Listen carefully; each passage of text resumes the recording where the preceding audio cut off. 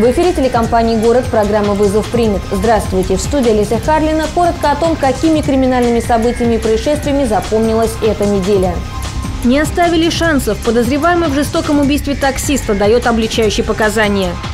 Пьяный водитель, заряженное ружье со сбитым прицелом. Очевидцы вспоминают подробности страшной аварии. Аттракцион неслыханной щедрости. Вам бесплатное пиво, нам ваши денежки. Полицейские закрыли еще один игорный клуб. Когда происходит жестокое преступление, родные и близкие жертвы до последнего не верят в то, что виновники будут пойманы и наказаны. А потому, когда в Московский районный суд города Рязани завели подозреваемого в разбойном нападении и убийстве таксиста, это стало темой недели. Тело мужчины обнаружили еще в марте. Его такси злоумышленники бросили на обочине дороги по улице Железнодорожной. А чтобы попытаться скрыть следы преступления, салон машины с жертвой внутри подожгли. Нападавших было двое. На сегодняшний день они задержаны. Состоялась очная ставка. Но если один с первого дня сознается в содеянном и подробно рассказывает, где и как они расправлялись с человеком, то его товарищ на отрез отказывается признавать себя в чем-то виновным. То есть он настаивал на своих показаниях, ранее данных, о том, что даже не, не был осведомлен о помыслах своего напарника и поехал с ним э, разгружать рыбу. И, и нападение им на таксиста для него стало крайней неожиданностью. Вот, и он сам хочет в этом разобраться. А пока следователи разобрались в том, что оба напарника испытывали финансовые затруднения и разрабатывали схемы быстрого обогащения. Слезы на глазах задержанных подкупили только их защитников.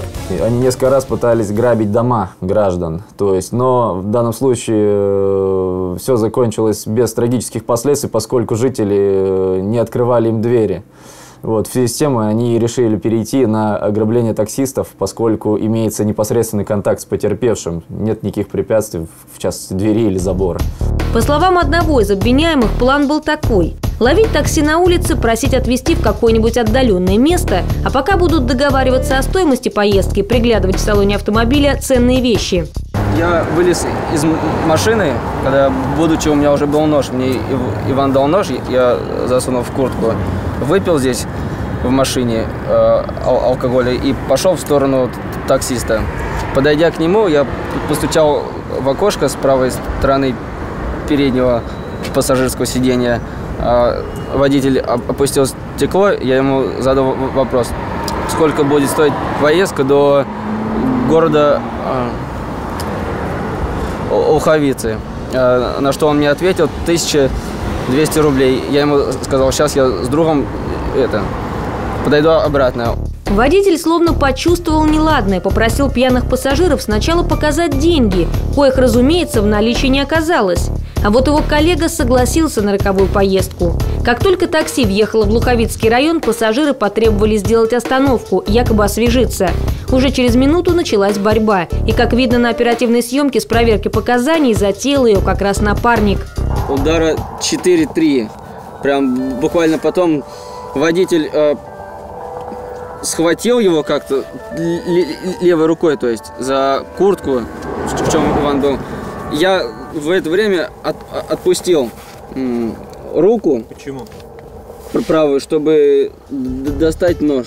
Грабители не учли, что водитель может оказаться бывшим боксером. Мужчина даже в критическом состоянии продолжал бороться за свою жизнь. Криминалисты насчитали на теле жертвы около 30 ножевых ранений. Ответа задержанного не выдерживают критики. В тот момент его удручали собственные травмы. Во время драки он неправильно держал нож и порезал пальцы. Какие последствия в результате полученных ран у вас сейчас э, вашими пальцами? В данный момент они меня до, до конца, то есть не изгибаются вот так вот. Собственно, капли крови помогли экспертам вычислить нападавших, но для этого пришлось проверить около полутора тысяч человек и порядка 600 из них отправить на генотип. Да я даже не знаю, как сказать-то. Как... Я бил даже без, без всяких, у меня мыслей не было никаких. Вы понимали, что от данного удара вы можете человеку причинить смерть? В данный момент я не, нет, не, не понимал. В данный момент нанесения этого удара не понимал? Нет, я ничего не понимал. Вот, то есть, как получилось, и он в этот момент, то есть, они как-то отцепились, и водитель открыл дверь и побежал в ту сторону. Жертву вернули в салон автомобиля, погрузили на заднее сиденье своей же машины и не оставили никаких шансов выжить. Жизнь человека грабители оценили в 2000 рублей. Согласно статье, если преступление будет доказано, подозреваемым грозит серьезный уголовный срок, вплоть до пожизненного. То есть фактически они могут просидеть в тюрьме 15-20 лет. Пока ни один из них так и не нашел в себе силы хотя бы посмотреть в глаза родителям погибшего. Мы будем следить за ходом расследования. Слова в законе, повлекшие по неосторожности смерть, вызывают постоянное возмущение людей. Какая, мол, неосторожность, если речь идет о грубом нарушении правил дорожного движения и вполне себе предсказуемых последствиях? Представьте, человек бегает с ружьем по городу и беспорядочно палит. Нет, не конкретно в прохожих, просто во все стороны, но не глядя куда. В чем разница? Принципиальных отличий от езды пьяного нет. Это происшествие случилось в 5 утра. Казалось бы, неоткуда ждать беды. Сонные люди стояли на остановке Шереметьево, и вдруг со стороны 5 микрорайона в сторону улицы Советской Армии на них вылетает «Шевроле Лачетти». Груда неуправляемого металла сбивает трех женщин. Одна из них доставлена в больницу в тяжелом состоянии, другая скончалась на месте. Невольным свидетелем трагедии становится рязанский таксист. Мужчина смотрел в автомобиле телевизор, почувствовал удар, а еще через секунду увидел рядом смятую остановку попросил диспетчер, чтобы вызвали скорую помощь и полицию.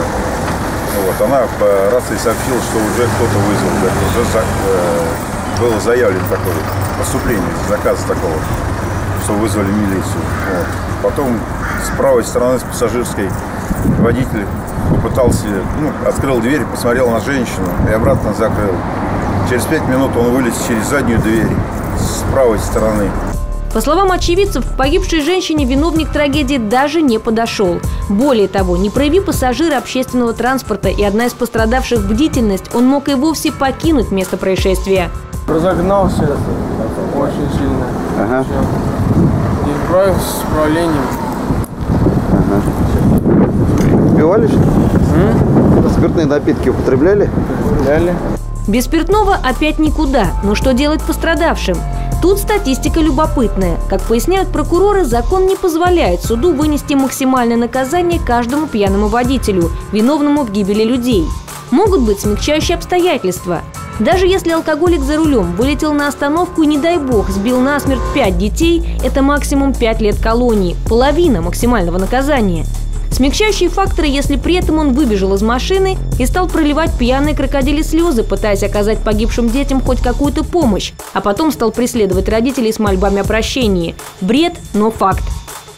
Еще один случай с участием пьяного водителя произошел уже на перекрестке улиц Станкозаводской и Октябрьской. Водитель автомобиля Рено Логан сначала врезался в светофор, а потом сбил пешехода.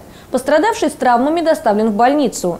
Давайте вспомним две громкие трагедии, за которые виновники уже получили максимально реальные сроки. К счастью, произошло это не в нашем городе. Пьяного водителя, который в Витебске на трамвайной остановке насмерть сбил ребенка на глазах у матери и скрылся с места ДТП, осудили на 7 лет. Ребенок умер в больнице через час после наезда. Из-за пьянки виновника другой трагедии погибли трое и получили серьезные травмы еще два человека. Позже одному из них пришлось ампутировать руку. Кстати, автолюбитель тоже снес остановочный павильон. Мужчину скрутили очевидцы, только так он не ушел от правосудия. Его суд приговорил к 10 годам тюрьмы. Если приводить местные примеры, то тут все достаточно грустно. Например, рязанская пенсионерка Анна Бодрова уже пять лет не может получить назначенную судом компенсацию. Хотя именно из-за аварии женщина потеряла работу и стала инвалидом второй группы. Сейчас ей уже 74 года. И до сих пор она так и не увидела несчастных 300 тысяч, которые суд взыскал с водителя. Универсального совета тут нет, просто будьте аккуратнее сами и не оставайтесь в стороне от чужого горя. Своевременный звонок в скорую, точные показания и посильная помощь имеют огромное значение. За последние пять лет ежегодно в розыске по России находится порядка 55 тысяч детей – кто-то отстает от родителей на вокзалах, кто-то сбегает из детских домов, но есть и такие, кто вовсе не собирался искать приключения. На днях в отделении беспризорных и безнадзорных детей привезли четырехлетнюю девочку. Ее мама отправилась в магазин и вспомнила о дочке лишь на следующий день. Ее больше волновало наличие в доме спиртного. Четырехлетняя Полина была найдена на перекрестке улиц Шкалова и профессора Никулина в субботу около 20 часов вечера. Полицейские поместили малышку в отделение для беспризорных и безнадзорных детей, где она находится до настоящего времени.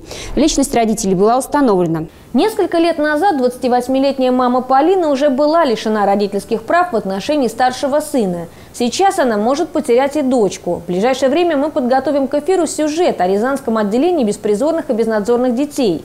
Расскажем, кто и как из малышей туда попадает, и сколько приходится работать специалистам с детьми, которые с молодых ногтей знают, что такое жить в проголодь, мерзнуть на улице и не чувствовать родительской любви. Полицейские разоблачили и ликвидировали еще один подпольный игровой клуб. Заведение находилось на первом этаже жилого дома, расположенного на улице Крупской.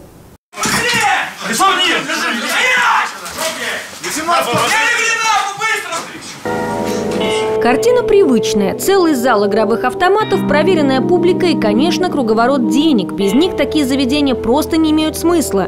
Клиенты готовы отдать последние, чтобы выиграть больше. Но, увы, солидный куш получают как раз владельцы. Смотрите, денежные средства. Личные? Стаканчики носите? Девушка. И что?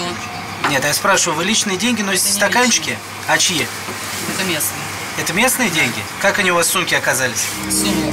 Теперь понятно, для чего нужна была массивная железная дверь. Даже клиенты проникали в подпольный клуб по специальному звонку или рекомендации проверенного игрока. Организаторы подпольного бизнеса попытались оградить себя от внимания внешнего мира не только железными дверями, но и установили скрытые камеры видеонаблюдения. В ходе специально подготовленной операции полицейские при силовой поддержке бойцов СОБР пресекли деятельность подпольного клуба и задержали злоумышленников, подозреваемых в организации криминального бизнеса. Ты где здесь получил карточку? Да. А? Да. А за что получил -то? Ну, при входе мне дали. Сейчас здесь бываешь? Нет, второй раз. Видимо, для того, чтобы притупить чувство разочарования от финансовых потерь и развести клиентов на щедрость, в игорном заведении бесплатно угощали алкоголем. У меня даже телефона ихнего нет. Не, а вы зашли, дверь была закрыта или открыта? Да, закрыта. Ну, вы постучали, и вам Да, открыли мне открыли. Потому что я предупреждал, что я приезжаю. И вы сидели здесь и выпивали, да? Да. Праздновали что-нибудь? Пиво бесплатно. В тот вечер ловили фортуну за хвост 12 человек. Из помещения изъяли 6 комплектов компьютерного оборудования для азартных игр, 14 аппаратов и крупную сумму денег. Подозреваемых в организации криминального бизнеса задержали. Любопытная новость. Кризис заставил россиян перейти с водки на фунфырики и чеканчики. Впрочем, в разных регионах в ходу свои нежные названия бытовых жидкостей двойного назначения. Да, некоторые снова начали искать выпивку в отделах бытовой химии или аптеках.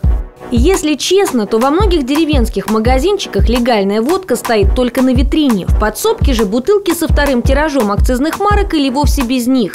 Разница между ними состоит лишь в уплаченных налогах государству. Себестоимость заводской поллитровки, включая спирт, воду, стекло, пробку и этикетку, составляет около 25 рублей.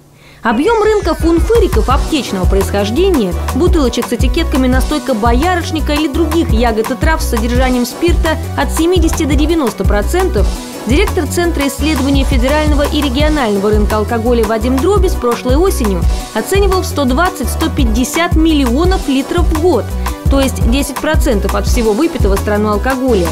При этом, по подсчетам Минздрава, официальный показатель среднедушевого потребления алкоголя в России снижается – Однако специалисты предупреждали, это не пить стали меньше, а из-за дорогого акциза легальный алкоголь вытесняется поддельным.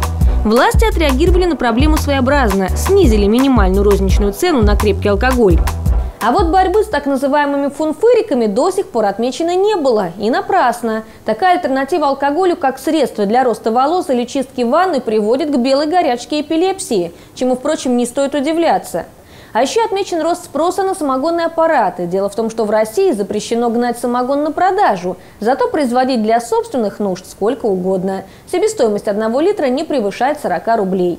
Это, к слову, о том, что если и есть у нас запреты и строгие меры, то бьют они, как правило, по тем, кто как раз не пьет. Ну или пьет по случаю. Остальные всегда найдут, чем угоститься. Такой была эта неделя. Если вы что-то пропустили, заходите на наш сайт город62.тв. На сегодня все. Не попадайте в криминальные сводки. До встречи.